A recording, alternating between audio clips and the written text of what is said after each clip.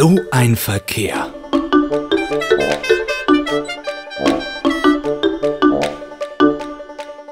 Ach, ich sage euch, drüben auf der anderen Seite, in dem großen Dreieck zwischen einem Laubwald und einem Nadelwald, liegt ein Feld. Hm, das ist ein Traumfeld. Nicht wegen seiner schönen Lage, im Gegenteil, denn die ist doch recht bescheiden. Nein, wegen der Rüben, die dort wachsen. Die leckersten Rüben weit und breit. Das sagen sogar die verwöhnten Hasen, die aus der Gegend von Zuckerrübenhausen kommen. Die haben es nämlich leichter hinzukommen, denn das Feld liegt auf der anderen Seite. Wenn sie auch einen längeren Anreiseweg haben, die Zuckerrübenhausener Hasen. Und wenn wir uns hier auf dieser Seite nicht sputen, kommen wir zu spät. Und die Zuckerrübenhausener Hasen haben schon alles weggemümmelt. Warum ich andauernd von den zwei Seiten spreche? Entschuldigung, da habt ihr recht. Denn das ist der springende Punkt dabei. Im wahrsten Sinne, wie ihr gleich hören werdet. Ihr könntet jetzt vermuten, die beiden Seiten trennt ein großer See oder ein breiter, tiefer Fluss. Das wären auch große Hindernisse für uns hier herüben. Aber es ist schlimmer. Viel schlimmer. Das Hindernis zwischen den beiden Seiten ist, ihr werdet es kaum glauben, eine schnurgerade Straße, die die Menschen Bundesstraße nennen. Für die Menschen ist so eine Straße natürlich etwas sehr Angenehmes weil sie da schneller mit dem Auto fahren und auch besser überholen können, denn man kann weit vorausschauen. Aber für uns Hasen auf dieser Seite herüben, oh weh.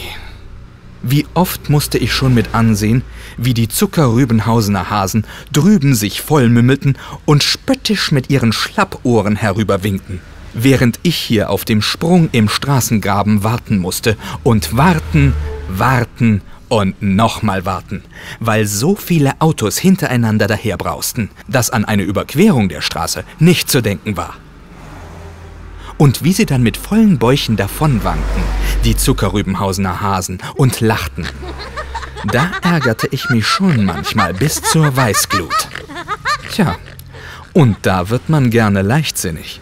Schon in meiner Hasenkinderzeit wurde mir vor dem Überqueren einer Straße immer wieder eingetrichtert, schau links, dann rechts, dann geradeaus, dann kommst du sicher gut nach Haus.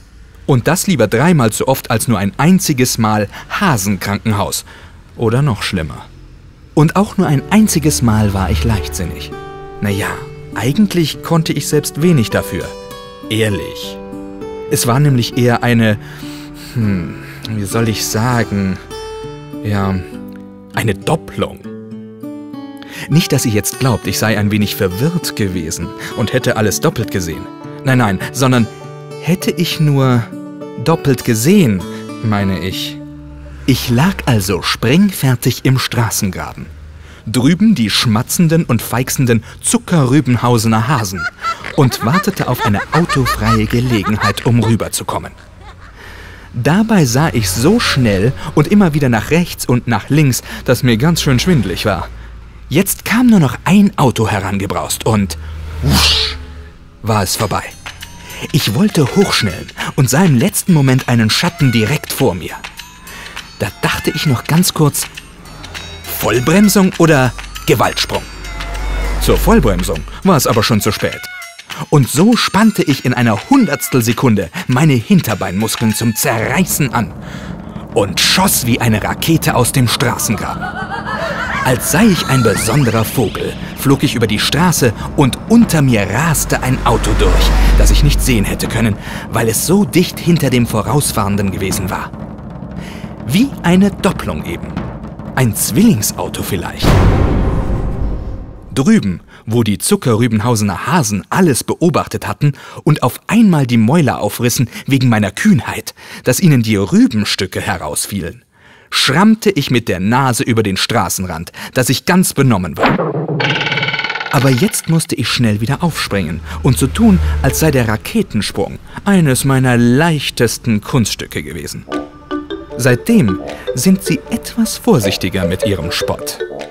Dabei war es ganz knapp. Ihr wisst schon warum. Und mir zitterten vielleicht die Knie.